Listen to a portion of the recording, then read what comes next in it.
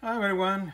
Well, it has been uh, two years since I started this tank uh, to bring back my uh, sea monkeys.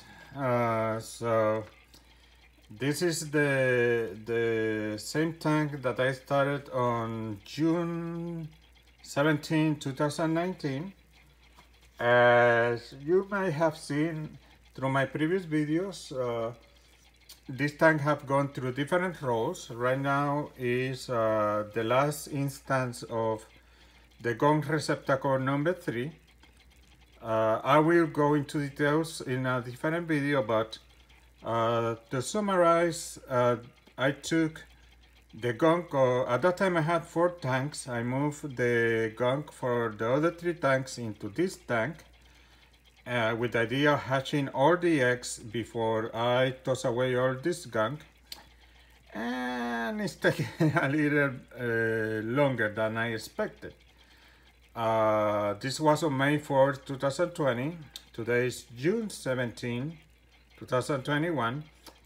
And you might see and not see that you see some adults swimming around, but they are only males. They are only to confirm that uh, the water still, the tank is feasible for hatching eggs.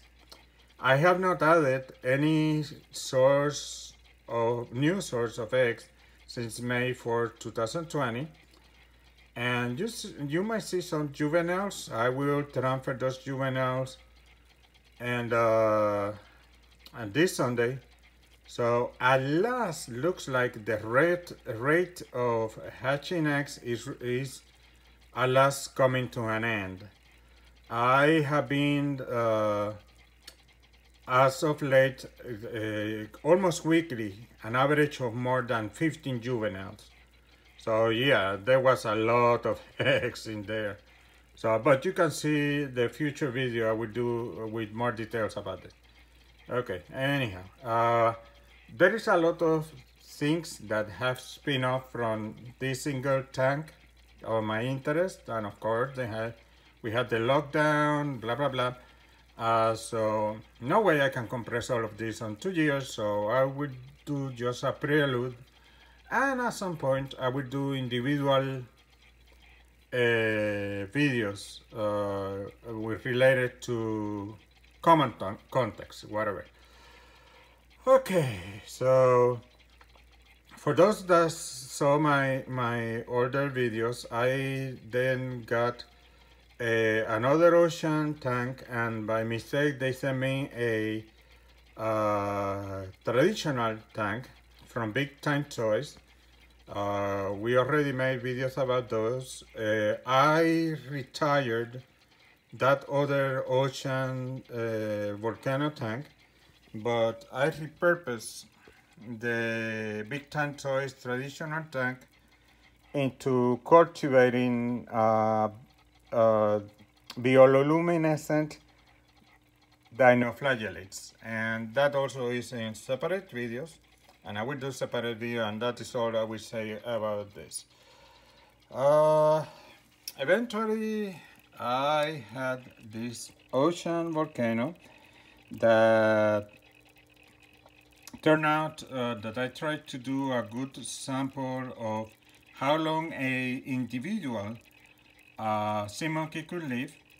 Uh, so I, what I was doing, I uh, had a first generation and then uh, after the first generation, any juveniles I would transfer somewhere else so I could guarantee there were only first generation sea monkeys and they lasted uh, 34 weeks but the conditions were not optimal. So uh, when they were down to, I think, two females and one male, I retired them and I tried to create another uh, longevity tank based on the lessons learned. And I repurposed this one to try to feed them only algae. As you can see, there is a huge layer because I found out that uh, uh, you won't lose algae and uh, no, I, I will uh, leave that for another video, but Uh, this have been almost one year with little food.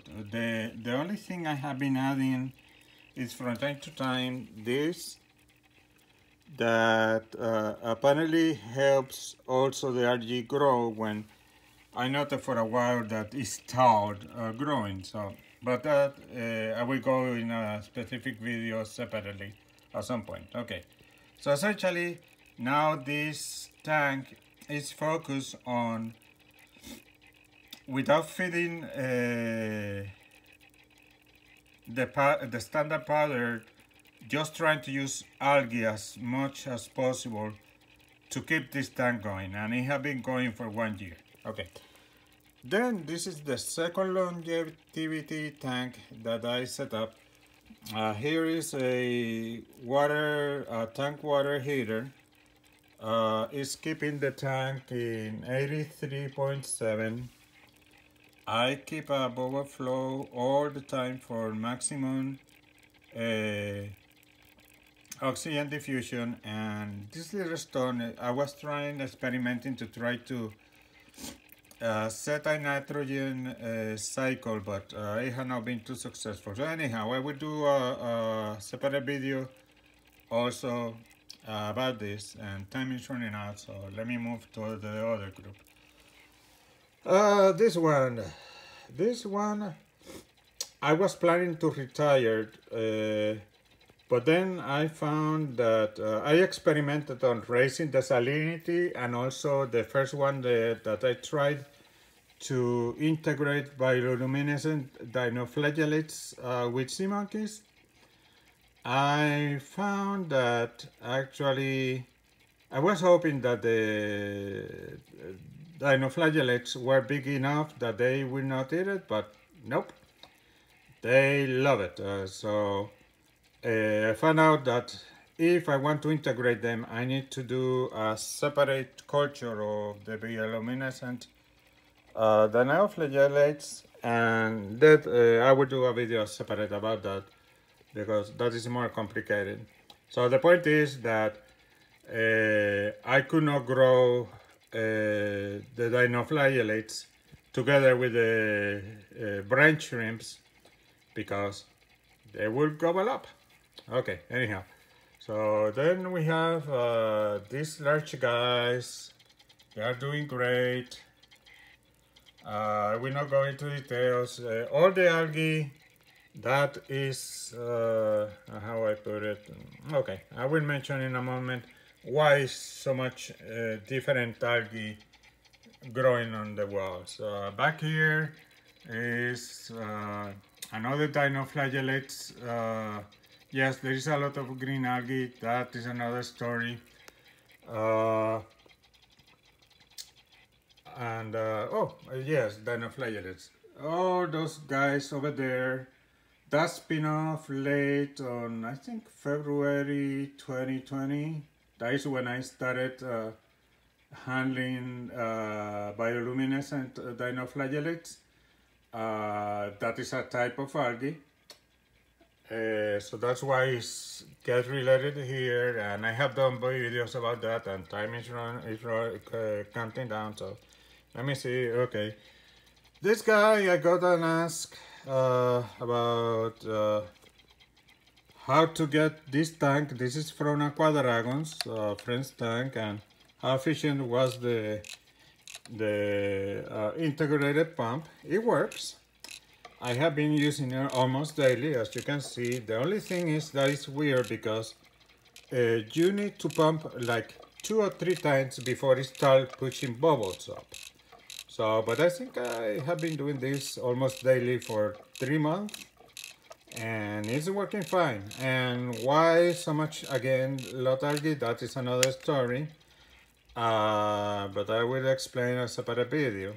So bottom line, and also I learned a hard way about uh, Aqua Dragon's food and uh, cutting off uh, airstone uh, right away.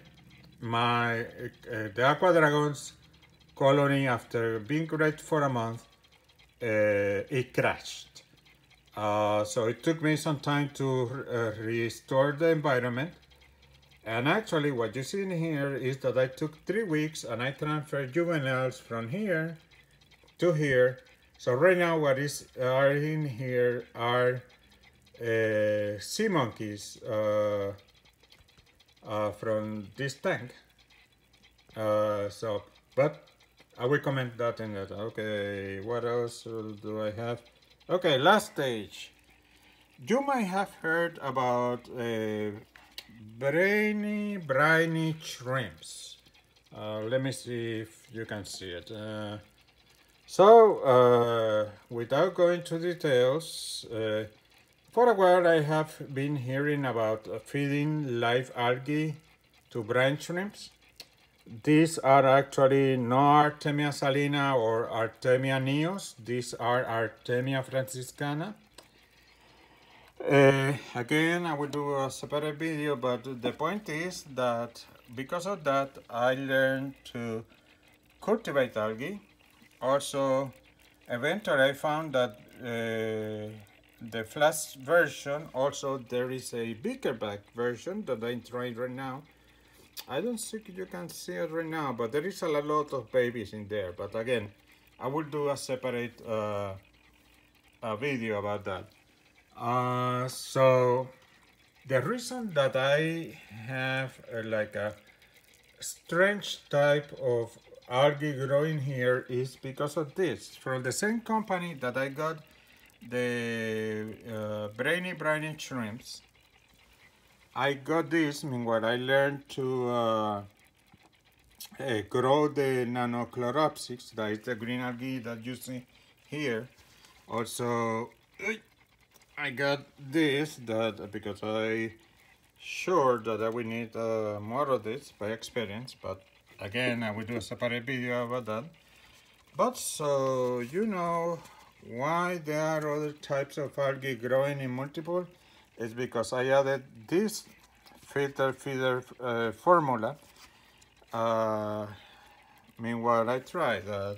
That's why this one is very green. That is only Nannochloropsis but before I had to add the feed formula so it has these uh, colors onto it. So anyhow, uh, it, sounds confusing, it is, uh, but I will make a separate video when the time comes. Okay, so anyhow, I wanted to say, uh, I use this that has these four types of algae.